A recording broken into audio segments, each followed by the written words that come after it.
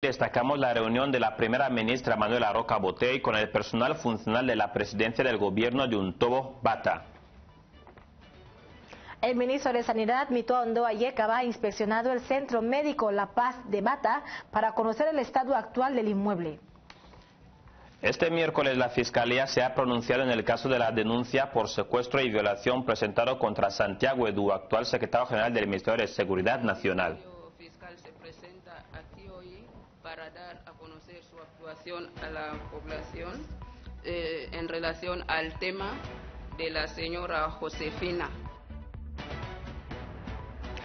Quintiliano Bian Unculo, el alcalde del Ayuntamiento Central de Malabo, se ha reunido con los alcaldes y concejales de los ocho distritos urbanos. Ampliamos las noticias que acabamos de avanzar, además de otras correspondientes a la jornada de hoy. Buenas noches, Consuelo. Buenas noches, Esemi. En el telediario de hoy también hablaremos del equipo de médicos egipcios que se encuentra en el país desde este martes. Así lo veremos durante el desarrollo del telediario, pero antes conozcamos la actualidad deportiva con Katsina. Buenas noches.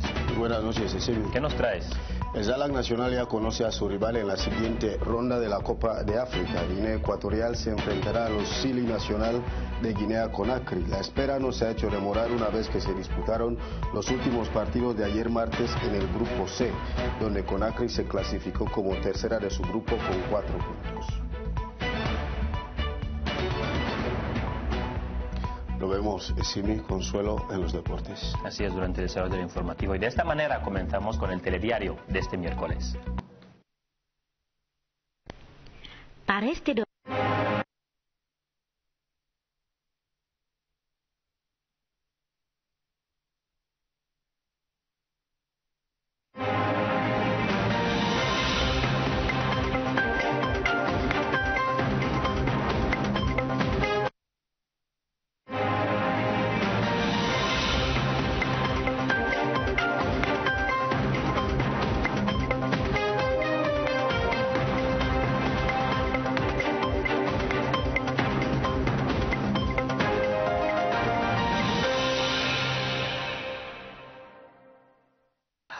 acabamos de anunciar. La primera ministra del gobierno encargada de la coordinación administrativa, Manuela Roca Botey, ha mantenido una reunión de concertación este miércoles con el personal funcional de la presidencia del gobierno de Untobo en Bata, a quienes ha presentado la nueva dinámica de trabajo a llevar a cabo durante el 2024.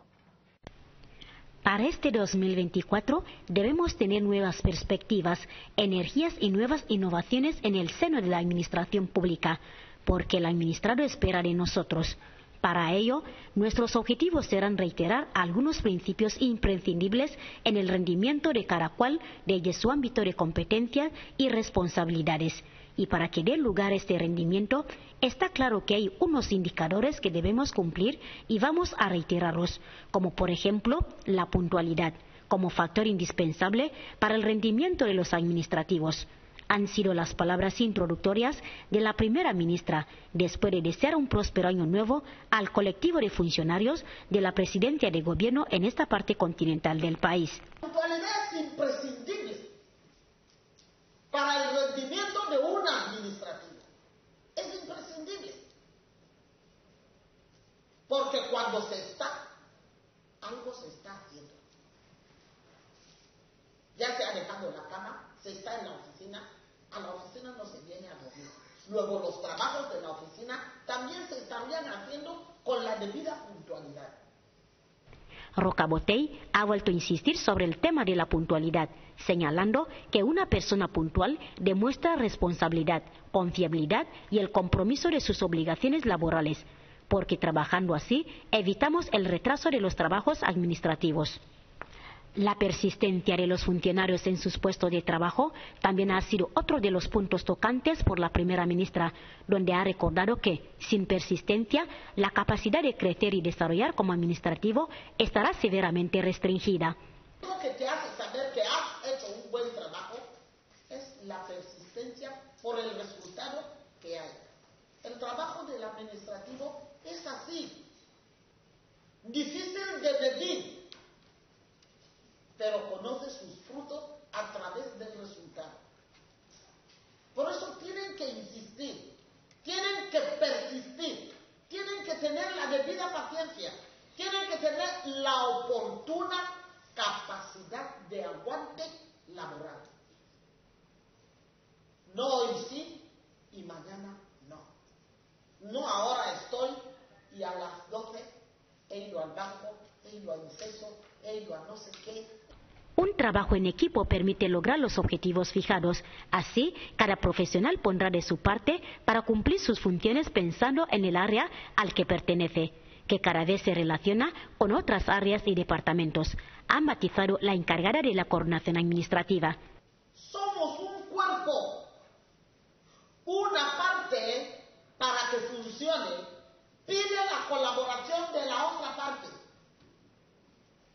Tal vez el ministro quiere firmar, pero si la secretaria administrativa no termina el trabajo, ¿cómo el ministro va a firmar? Somos un cuerpo. Trabajamos para los mismos fines. Trabajamos para los mismos objetivos. Por eso tenemos que prestarnos colaboración. No podemos esperar resultados diferentes si hacemos lo mismo. Para tener diferentes resultados debemos cambiar nuestra manera de hacer las cosas, innovando cada día, ha subrayado Rocabotei. También apeló a los administradores y colaboradores a la autodisciplina como un rasgo clave para la vida e indispensable a la hora de conquistar las metas deseadas. Según la primera ministra, la autoformación te permite adquirir nuevos conocimientos, habilidades y competencias útiles en la vida personal y profesional. Te ayuda a permanecer actualizado en el campo de trabajo, desarrollar nuevas capacidades y te permite ser más independiente y autónomo en el aprendizaje. Para ello, ha insistido sobre la lectura, para fortalecer los conocimientos que servirán de enriquecimiento tanto en la administración pública como en lo personal administrativo no puede aburrirse en su despacho. Si en esta hora entregaste un trabajo y tienes un minuto de sosiego mientras esperas que se corrija, autofórmese. Practique la autoformación. Haga cursos. Para los directores generales, les ha instado a instruir a sus colaboradores, escuchando sus ideas y propuestas para mejorar los servicios que les son encomendados. También ha felicitado el trabajo realizado por los funcionarios de la presidencia del gobierno de Bata durante los últimos meses del pasado año. Y por último, ha hablado sobre la planificación de los trabajos, porque permite organizar mejor y conseguir completar todos los retos que se propongan. Asimismo, ha escuchado las inquietudes presentadas por el personal funcionarial de la presidencia del gobierno de Bata y puesto sobre mesa las posibles soluciones. Continuando con su agenda laboral, la primera ministra del gobierno, Roca Botei, también ha mantenido un encuentro de coordinación entre el Ministerio de Sanidad, INCESO y la empresa THL Perino, responsable del mantenimiento de los hospitales. Se trata de una reunión de negociación entre la empresa THL Perino, el Instituto de Seguridad Social y el Ministerio de Sanidad, la cual ha presidido la encargada de la coordinación administrativa, cuyo punto ha sido saber del por qué en estos últimos momentos dicha empresa de mantenimiento técnico de los hospitales no está realizando su cometido y a su vez conocer hasta qué punto están los acuerdos firmados entre THL Perino y el gobierno. La reunión es consecuencia de las tareas de coordinación que el vicepresidente de la República está haciendo con ocasión a la mejora de lo que es el equipamiento y garantizar el funcionamiento óptimo de los hospitales de tercer nivel tanto en Malabo como en, Bata. Quedó pendiente que a nivel del hospital de inceso de Bata eh, había unas problemáticas de mantenimiento que eh, la excelentísima primera ministra tenía que coordinar para entender muy bien cómo se ha llegado a la problemática.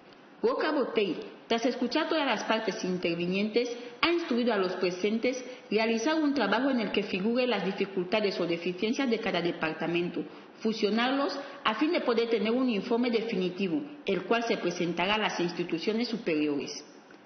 THL Perino lleva operando en nuestro país desde hace varios años Es una empresa distribuidora de equipamiento hospitalario y de laboratorio, con sede en Portugal y sucursales en Angola, Cabo Verde, Mozambique y Guinea Ecuatorial.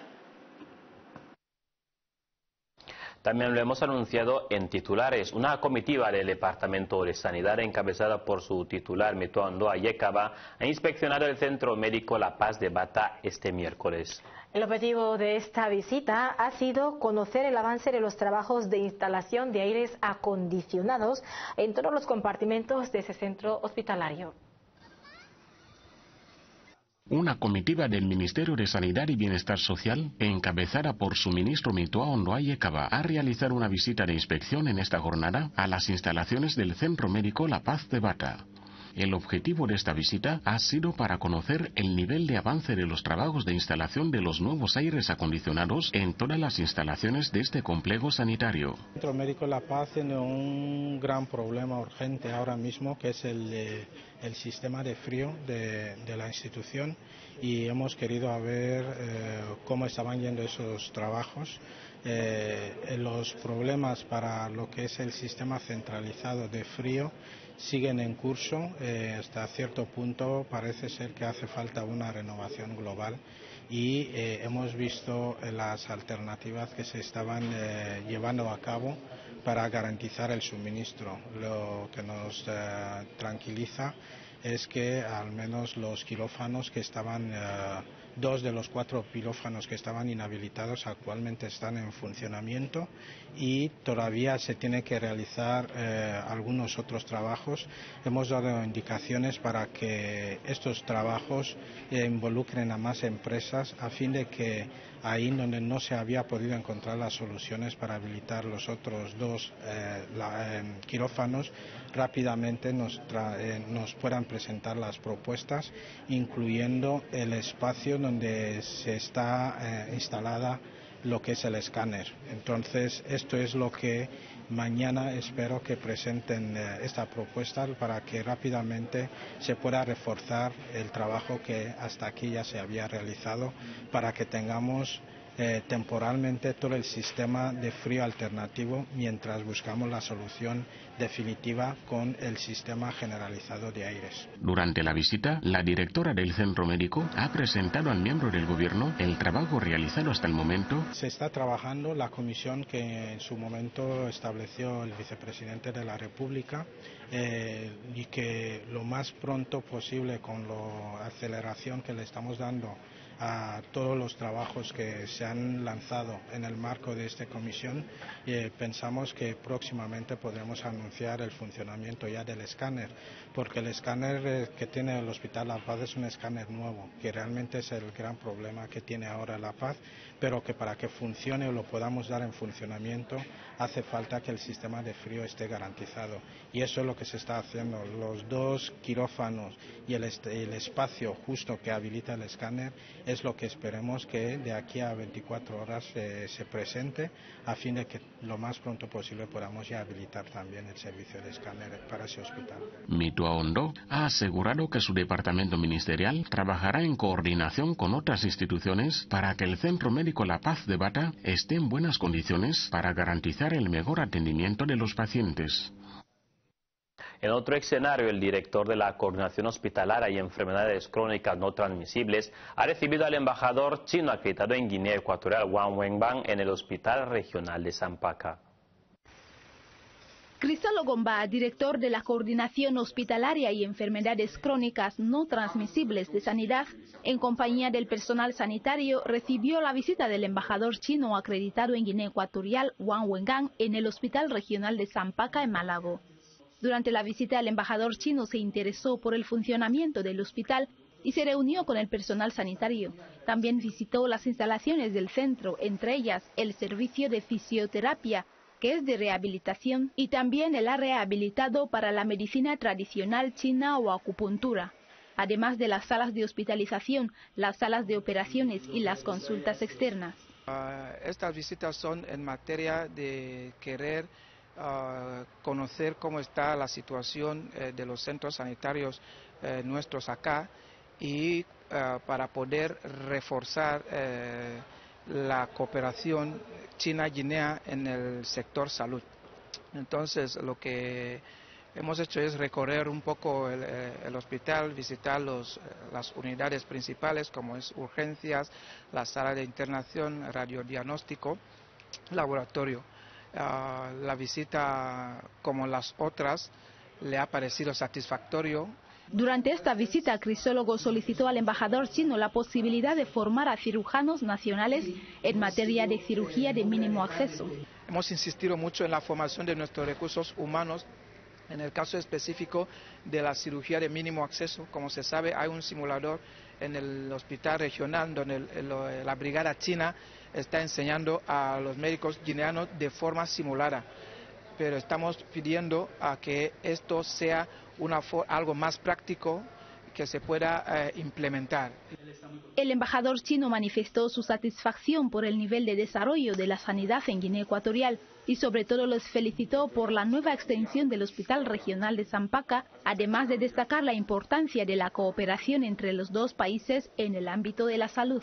Por su parte, Crisolo Gomba agradeció la visita del embajador chino y destacó la importancia de la cooperación con China para el desarrollo de la sanidad en Guinea Ecuatorial. El Hospital Regional de Zampaca es un nuevo establecimiento sanitario y extensión del Hospital General de Malabo, que cuenta con una capacidad de más de 100 camas y ofrece servicios de hospitalización, cirugía, consulta externa y urgencias, entre otros.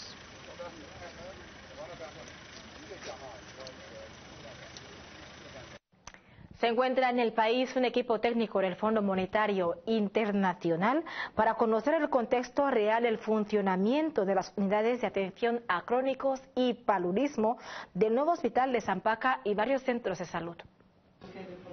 Los técnicos del Fondo Monetario Internacional han visitado este miércoles conjuntamente con la Dirección General del VIH-Sida perteneciente al Ministerio de Sanidad y Bienestar Social a las unidades de crónicos del Hospital de Zampaca.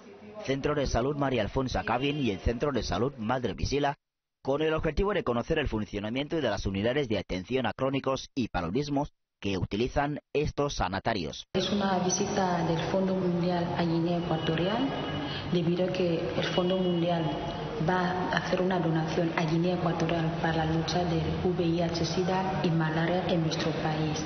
El año pasado eh, el equipo directivo del Fondo Mundial ya estuvo aquí en Guinea, en los cuales trabajamos conjuntamente con el Ministerio de Sanidad y el equipo de los programas de VIH y malaria, presentándoles los planes estratégicos de cada programa para que se pueda implementar con los fondos que vayan a donar se puedan implementar actividades basadas en el plan estratégico de los programas. Se prevé que este acuerdo se ejecute en el mes de abril para que los ministerios de Sanidad, Asuntos Exteriores y Hacienda analicen junto al FMI los próximos proyectos a realizar en Guinea Ecuatorial. A nivel sanitario se empezaría a trabajar en la ciudad de Bata al ser la zona con prevalencia alta del VIH-Sida en el país, según reconoce el Ministerio de Sanidad.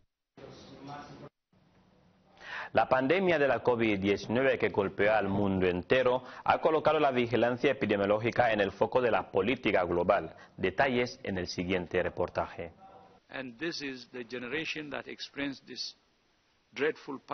Desde hace varios años, la OMS trabaja con la posibilidad de que una enfermedad desconocida provoque una pandemia grave, con el objetivo de que los sistemas de respuesta sanitarias se preparen ante cualquier brote. El término enfermedad X es una expresión adoptada por la OMS en el año 2018 para referirse a la posibilidad de que un hipotético patógeno todavía desconocido cause una pandemia internacional grave. No se trata, por tanto, de una enfermedad concreta, pero sí de una probabilidad real. ¿Y cómo podemos prepararnos ante un nuevo brote? Aunque la idea no es del todo nueva, lo cierto es que desde la adopción del término han sido varias las investigaciones científicas que han trabajado con el concepto en un intento por desarrollar herramientas para prevenir, detectar y combatir la transmisión de la enfermedad X en el futuro. En la actualidad, además de la enfermedad X, las enfermedades prioritarias según la OMS son la COVID-19, la fiebre hemorrágica Crimea-Congo, el virus del ébola y el virus del Marburgo. Cercanamente emparentados, la fiebre de Lassa, los coronavirus MERS y SARS, el virus Nipah y las enfermedades enipavirales, la fiebre del Valle del Rift y el Zika. Dejamos atrás el sector salud. El ministro de Planificación y Diversificación Económica, Gabriel Mbago Lima, se ha reunido este miércoles con todo el personal de su ministerio en Bata. Durante el encuentro, el miembro del gobierno ha presentado el plan de trabajo diseñado para este nuevo año. Muy breve en la reunión, Gabriel Mbago Lima, ministro de Planificación y Diversificación Económica, este miércoles ha mantenido un primer encuentro de toma de contacto con el personal afecto a esta cartera para instarles y presentarles el programa que deben ejecutar en el ejercicio 2024. En esta reunión también ha asistido el personal de Andeje y de INEGE, donde todos aquí han recibido orientaciones sobre cómo deben trabajar, partiendo desde este mes de enero hasta el mes de diciembre. Mbago Lima ha recordado a los aquí reunidos que ya no están en la fase de planificación, sino que actualmente están en la fase de ejecución. De hecho, está poniendo a disposición de todo el personal todos los medios suficientes para que los trabajos programados sean ejecutados según las líneas trazadas. También ha puntualizado que se buscarán mecanismos para mejorar las dificultades que atraviesan, una de las cuales el personal de Andeje ha presentado ante el ministro sus carencias a la hora de llevar a cabo su trabajo. Necesidades que evidentemente Mbago Lima ha prometido trabajar en ello para la buena marcha de su llamado. El ministro de Pesca y Recursos Hídricos, Francisco Medina Catalán, ha mantenido una reunión por videoconferencia este miércoles con los países de la CAC para encontrar solución a los problemas que enfrenta la Comisión Regional de Pesca del Golfo de Guinea, CORE. Angola, Sao Tomé y Príncipe, Congo Brazzaville, Camerún, Congo Kinshasa y Gabón son algunos de los países que han asistido a esta reunión y que son miembros de la CEAC. Durante el transcurso de esta reunión extraordinaria, se instaba a los ministros a encontrar urgentemente una solución a las dificultades por las que pasa la Comisión Regional de Pesca del Golfo de Guinea, conocido como COREP en particular la reforma que tuvo lugar en la CAC en 2019, que convirtió a la COREP en una institución especializada de la CAC, de modo que la financiación de la COREP debe estar totalmente cubierta por el presupuesto de la Comunidad Económica de los Estados de África Central, CAC. El ministro de Pesca y Recursos Hídricos ha comenzado su intervención hablando sobre la evolución de esta organización y ha mencionado que los ministros se reúnen en comités técnicos especializados para formular recomendaciones al Consejo de Ministros de la CEAC sobre cuestiones sectoriales y problemáticas que sean de su competencia. Medina Catalán también ha hablado sobre la difícil situación que atraviesa la COREP, considerando la posibilidad de recurrir al pago de atrasos con sus respectivos países. Por otra parte, es imprescindible dirigir recomendaciones adecuadas a los órganos decisorios de la CAC con el fin de mejorar las estrategias de esta organización y mejorar su funcionamiento.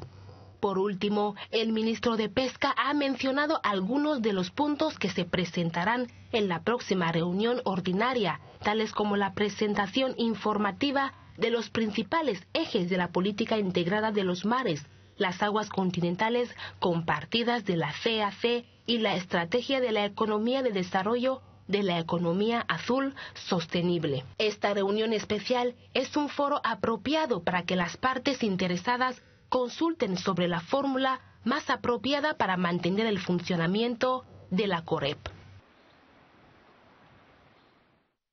El juez Pedraz, el juez Santiago Pedraz Gómez del Juzgado Central de Instrucciones número 5 de España declara desestimado el recurso de reforma interpuesto contra Nicolás Obamanza, Carmelo Bonobian e Isaac Gemando. Así es, esto llega ante el recurso de reforma interpuesto por el Ministerio Fiscal Español sobre el traspaso de las investigaciones del caso especial número 2 para 2023 a la Sala Segunda de la Corte Suprema de Justicia de Guinea Ecuatorial en contra de Nicolás Obamanzam, Carmelo Obonobian e Isaac Ngema Ondo, acusados presuntamente por secuestro, detención ilegal y tortura. Ante el recurso de reforma presentado por el Ministerio Fiscal Español y otras fuentes sobre el veredicto del auto sancionado por el juez Santiago Pedraz Gómez en Madrid el 8 del presente mes de enero 2024, donde los tribunales españoles cedían la competencia de las investigaciones del caso especial número 2 para 2023 a la Sala Segunda de la Corte Suprema de Justicia de Guinea Ecuatorial en contra de los acusados Nicolás Obamcham, Carmelo Bonovian e Isaac Gamondo. Precisamente en esta línea, este martes 23 del mismo mes y año, tras varios debates entre la justicia de Guinea Ecuatorial, que preside Francisco Wingamamikwe y la española, el Juzgado Central de Instrucción 5 de España, que encabeza el veterano juez Pedraz Gómez, ha denegado la apelación interpuesta como recurso de reforma presentada por doña Virginia Aragón Segura, procuradora de los tribunales de España, actuando en representación de Soledad Nkenengameyán, Silvia Vindangama y Pedro Efangama. Esta nueva decisión de la justicia española, en complicidad de la de Guinea Ecuatorial haciendo justicia, se fundamenta en los siguientes aspectos. Según el reciente auto dado en Madrid este martes 23 del presente mes y año 2024, como se razonó en el auto recurrido, no hay base para entender que Guinea Ecuatorial como pueblo soberano no esté dispuesta a llevar a cabo la investigación o no tenga capacidad para realizarla.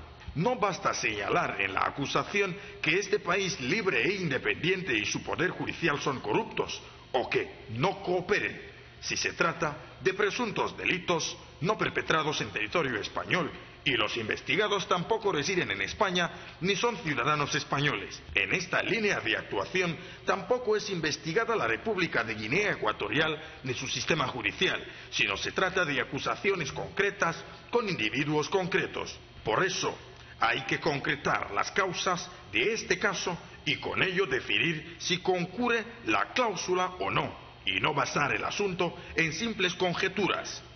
Tajante y contundente, haciendo justicia, así lo ha determinado el juez español en el presente auto que mantiene a la Sala Segunda de la Corte Suprema de Justicia de Guinea Ecuatorial, que preside Francisco Winganicue como la responsable de llevar a cabo las investigaciones en contra de los tres ciudadanos ecuatorianos acusados presuntamente de secuestro, detención ilegal y tortura. En este sentido, se ha dispuesto desestimado el recurso de reforma interpuesto por el Ministerio Fiscal Español y otras fuentes de acusación, al no haber lugar a reformar el primer auto de fecha 8 de enero de 2024. Seguimos con más. Tras varios días de trabajo, ha finalizado este martes la reunión de la CEMAC con el Banco Mundial. Con palabras de agradecimiento a la Comisión por la invitación y a todos los que han hecho posible esta reunión, el director de operaciones del Banco Mundial encargado del diálogo con la CEMAC, Saint Fantamari Kanté, dijo también que después de estos trabajos realizados espera que siga habiendo una buena relación con la Comisión para hacer posible los proyectos presentados durante estos dos días de intenso trabajo. Después tomó la palabra Buteina Germasis, directora del Banco Mundial, quien ha hablado de las perspectivas de trabajo resaltando la importancia de la colaboración entre ambas partes. El vicepresidente de la CEMAC, Charles Asamba Ungondo, en representación del presidente Baltasar Nguejo, ha dicho que esta reunión ha servido de ayuda para la materialización de algunos proyectos presentados por la CEMAC. Ha sido otra de nuestras noticias de portada. La Fiscalía de Malabo ha dado a conocer a la población su, actuación ante la denuncia presentada por Josefina Angue el pasado 19 de enero contra Santiago Edu, actual secretario general del Ministerio de Seguridad Nacional, quien está siendo acusado por los supuestos delitos de tortura, violación y secuestro. La Fiscalía de la región insular se pronuncia ante la denuncia de Josefina Angue contra el secretario general del Ministerio de Seguridad Nacional, Santiago Edu. El pasado viernes 19 del presente mes, Josefina Angué se presentó ante las cámaras de Azonga Televisión para denunciar a Santiago Edu Asama por haberle violado, secuestrado y torturado.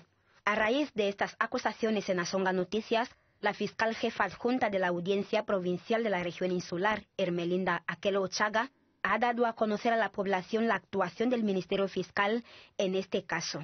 El Ministerio Fiscal se presenta aquí hoy para dar a conocer su actuación a la población eh, en relación al tema de la señora Josefina, quien denunció haber sido maltratada ante los medios nacionales por el señor Santiago Edu, actual secretario general del Ministerio de Seguridad Nacional.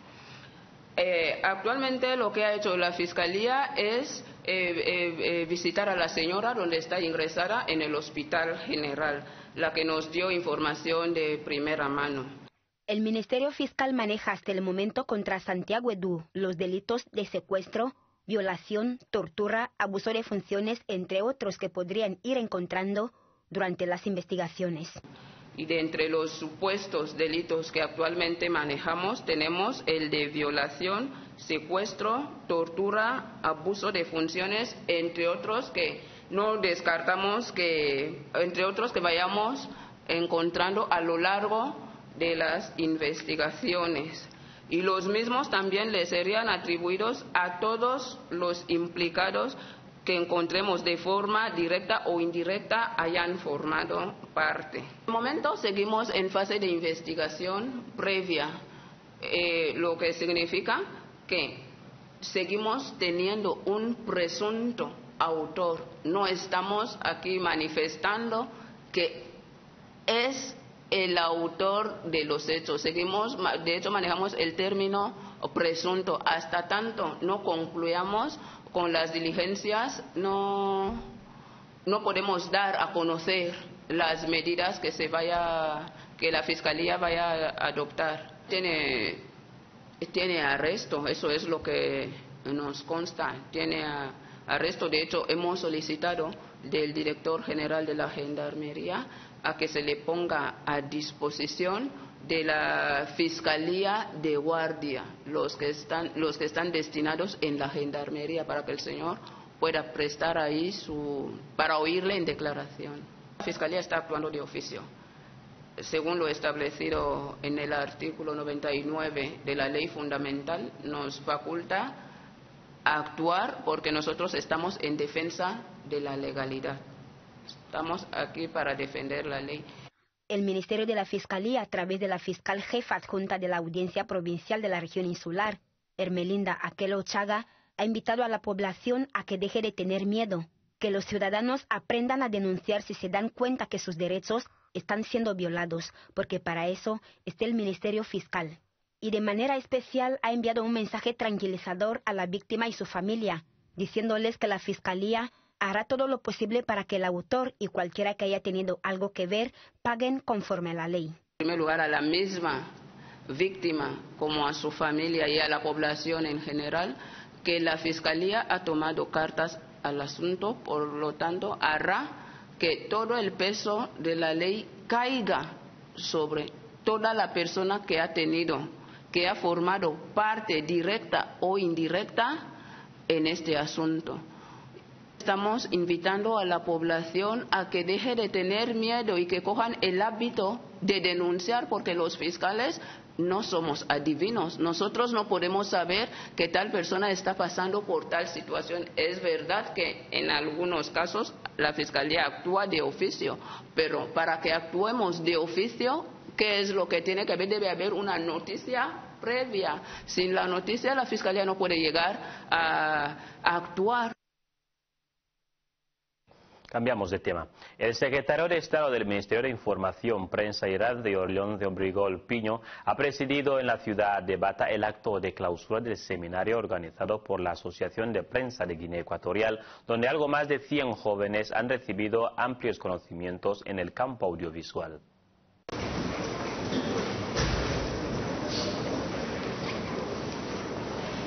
Leoncio Brigor Piño, secretario de Estado del Ministerio de Información, Prensa y Radio, ha presidido este miércoles el acto de clausura del curso de capacitación organizado por la Asociación de Prensa de Guinea Ecuatorial en anagrama ASOPGE, que venía impartiendo a algo más de 100 jóvenes con residencia en esta ciudad capital. El seminario ha sido fructífero según los mismos participantes. El seminario ha tenido una duración de tres días Eh, los dos días han sido de teoría y el tercer día por la mañana hemos llevado a los cursistas en las instalaciones de la radio televisión Guinea Ecuatorial Bata para que ellos a la vez puedan ver eh, lo aprendido en la, teoría, que lo vean de manera práctica. ¿no? De hecho, han sido un total de más de ciento y pico de estudiantes eh, que han inscrito. Yo creo que es una pista positiva porque no sabíamos que eh, esta, esta, gente valora el trabajo de los medios de comunicación al ver que se implican, que quieren unirse a las filas de los profesionales de los medios.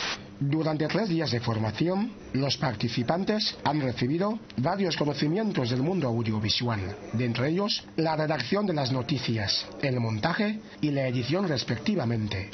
Ya que soy estudiante en periodismo, me he inspirado a venir a adquirir más conocimientos porque uno no lo sabe todo, ¿no? Hay que adquirir más conocimientos. De hecho, he venido y la experiencia ha sido muy buena, muy buena. Eh, estamos, está, en la presentación de programas y de telediarios y muy excelente. Hemos pasado muy bien. Son primero poner en práctica lo que hemos aprendido porque de nada sirve aprender algo sin ponerlo en práctica. De hecho, pienso ponerlo en práctica Así, ya que no solamente es pensar que si hemos hecho la formación aquí, aquí es donde vamos a trabajar, sino buscar una institución donde puedo seguir aprendiendo más y en lo sucesivo poder así poder trabajar en lo que he aprendido. Pues como también estoy aprendiendo la cámara en mi ministerio, ya más la, la orientación que nos ha dado, ya iré a dar más a mis compañeros la orientación está que hemos empezado hoy con ellos esta tarde. A los demás jóvenes que se adiestren ¿no? a venir a, a formarse más porque cada día cogemos cosas nuevas de los demás que nadie lo sabe todo. Resaltar que este curso de capacitación es parte de las actividades programadas por la SOBGE en el marco de la celebración de su aniversario. Una formación que se daba por concluir con la entrega de certificados a todos los participantes. El director de operaciones del Banco Mundial, Sheikh Kanté, ha realizado una visita a las instalaciones del Ministerio de Comercio para una toma de contacto con las autoridades de este departamento, además de conocer el plan de diversificación económica. Esta visita ha estado guiada por el ministro delegado de esta entidad ministerial, Alberto Doria Lajay, quien ha hablado con el director de operaciones del Banco Mundial sobre la labor de la cartera. De su parte, Sheikh Kanté, director de operaciones del Banco Mundial, ha explicado la razón de su visita, que según él se centra en conocer todos los métodos que este ministerio ha establecido para la diversificación, con el fin de ayudarles mediante subvenciones económicas. Mientras tanto, Alberto Doria Lajay ha dicho que el Ministerio necesita que se materialice la ayuda financiera de parte del Banco Mundial para que las pequeñas y medianas empresas del país pongan en marcha sus proyectos. Después de una larga charla, el invitado y su delegación, en compañía de varios miembros del Ministerio, han conocido los diferentes departamentos de la ventanilla única y del Ministerio en general. El alcalde del Ayuntamiento Central de Malabo, Quintiliano Biaúnculo, se ha reunido este miércoles, como hemos señalado en titulares, con los alcaldes y concejales de los ocho distritos urbanos que componen la localidad para presentarles su plan de trabajo. Durante este primer encuentro de toma de contacto, Obianculo ha informado a los presentes que la Corporación Municipal tiene un nuevo plan de acción que está diseñado a largo plazo para el mejor funcionamiento de la institución. Obianculo, al dirigirse con los concejales, ha dejado claro que la administración del ayuntamiento debe ser descentralizada para que sea más eficaz y eficiente. Para ello, ha dicho que apuesta por la política de acercamiento a la administración a todos los ciudadanos. El alcalde presidente, al dirigirse con sus máximos colaboradores, les ha pedido trabajar en coordinación para que todos los problemas que se venían dando en el seno del ayuntamiento puedan resolverse e igualmente ha invitado a estos a cumplimentar la voluntad política del gobierno. En lo que respecta a las mujeres que venden en las aceras y los ciudadanos que dejan sus materiales de construcción en las aceras, el nuevo alcalde ha hecho saber que a partir de mañana realizará recorrido por la ciudad y al que se le encuentre se le solicitará sacar su mercancía de las vías públicas. Por último, Quintiliano Bianculo ha dicho que el gobierno municipal tiene previsto formar puestos de permanencia a los policías locales y que procurará que cada funcionario permanezca en su destino de trabajo. Lo hemos comentado al inicio de este telediario. Este miércoles el equipo de médicos especialistas procedentes de Egipto se ha, reunido con el secretario general de la Fundación Constancia Mangenzo como Anacleto Olomibui, junto con la directora general, para conocer los trabajos prioritarios que llevarán a cabo durante su estancia en el país. En el sector sanitario sabes que la Fundación se dedica a intentar atender las capas vulnerables entre ellas están los enfermos. Y se acaba de construir un nuevo hospital que forma parte de la red de hospitales de la Fundación, el Guadalupe. Y eh, nuestros hermanos egipcios, a través de la Embajada egipcia en Malabo, eh, se han comprometido, se han ofrecido a, a llevar, a prestar los servicios sanitarios necesarios. Han visitado el hospital, que reúne las condiciones óptimas para poder dar y prestar ese servicio. Hoy, en nombre de la presidenta fundadora, les hemos eh, llamado para darles la bienvenida.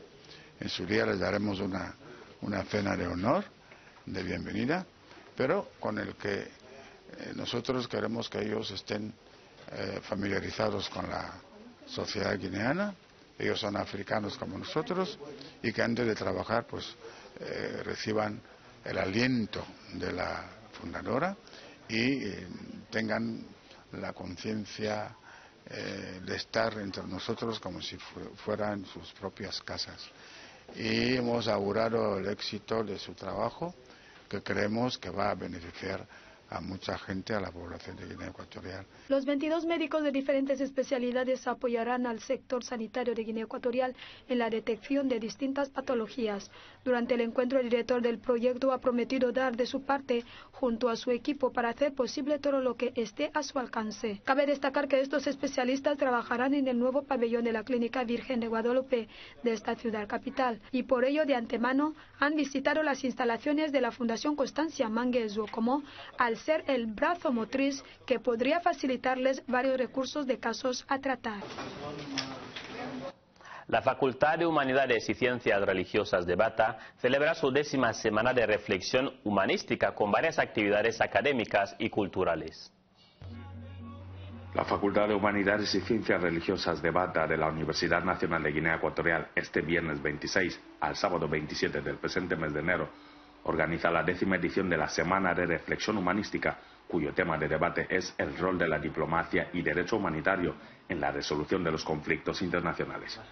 Según el programa de actividades de este encuentro académico que gira en torno a Santo Tomás de Aquino, patrono de esta institución académica de la ONG, darán comienzo sobre las 10 de este viernes con una misa de acción de gracias en honor al Santo Más Sabio, que como intelectual consistió en conciliar la fe con la razón.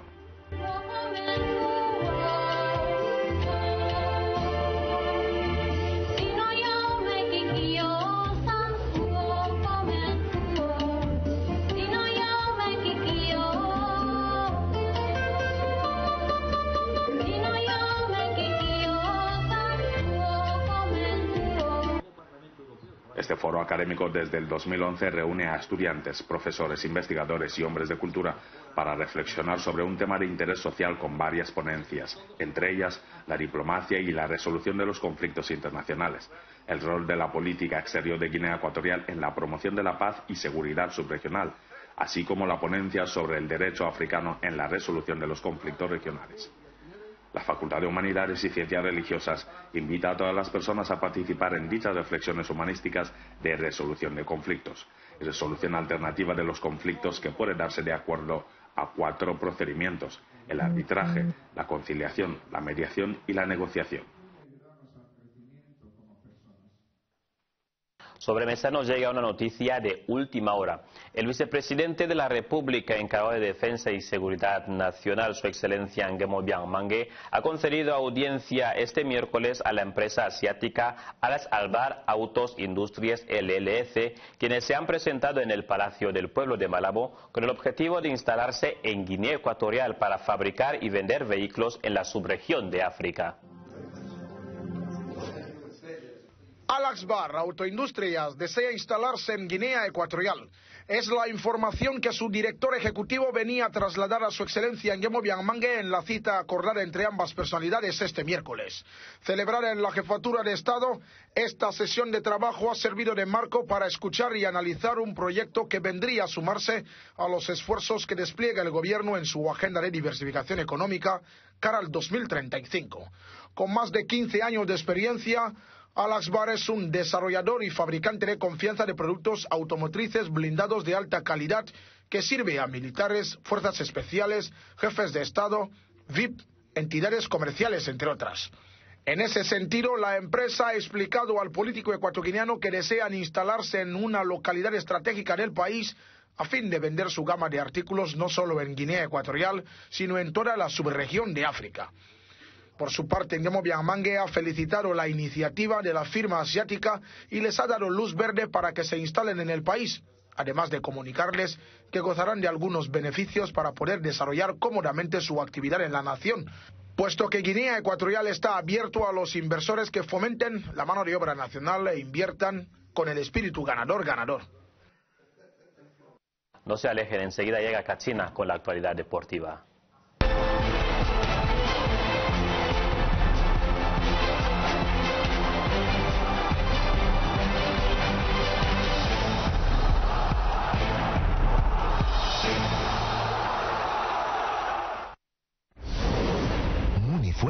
Innovación patrocina este espacio. Muy buenas noches. El Zalang Nacional ya conoce a su rival en la siguiente ronda de la Copa de África. Guinea Ecuatorial se enfrentará a los Sili Nacional de Guinea Conakry. La espera no se ha hecho demorar una vez que se disputaron los últimos partidos de ayer martes en el Grupo C, donde Conakry se clasificó como tercera de su grupo con cuatro puntos. Después de finalizar primeros de Grupo A, el cuadro que dirige Juan Michobian buscará el pase a los cuartos de final enfrentándose a los Silis Nacional de Guinea, que terminaron la ronda entre los mejores terceros. En el caso del Zalang Nacional se clasificaron para la ronda eliminatoria empatando frente a Nigeria y ganando a Guinea-Bissau y al anfitrión a Costa de Marfil para adjudicarse los siete puntos, además de concluir en primera posición de grupo, por lo que Emilio Joa López y compañía afrontarán esta fase como favoritos. Por su parte, los adversarios, los Silis Nacional de Guinea, se clasificaron al concluir entre los mejores terceros y el mejor del grupo C. El equipo dirigido por Kawal Diawara empató contra Camerún, ganó a Gambia y perdió frente a Senegal para conformarse con cuatro puntos. Y ahora buscará el pase a cuartos viéndose las caras ante el Zalang Nacional.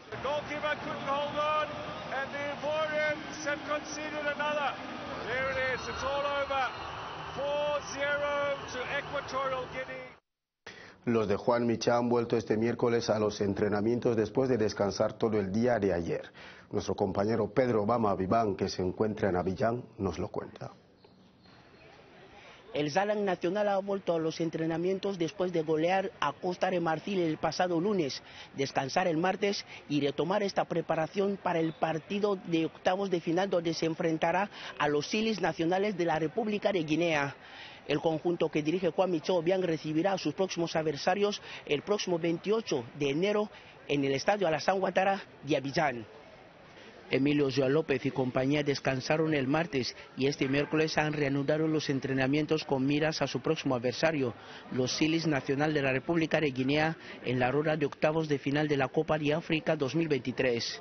En la sesión matinal han estado disponibles para Juan Micho Bian los 27 convocados. Los titulares frente a Costa de Marfil han realizado un trabajo específico, mientras que los demás integrantes tocaron el balón.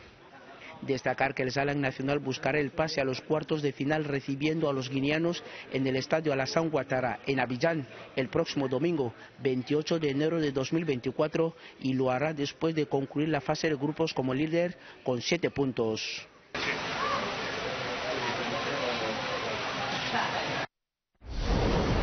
Munifuente de Innovación patrocina este espacio.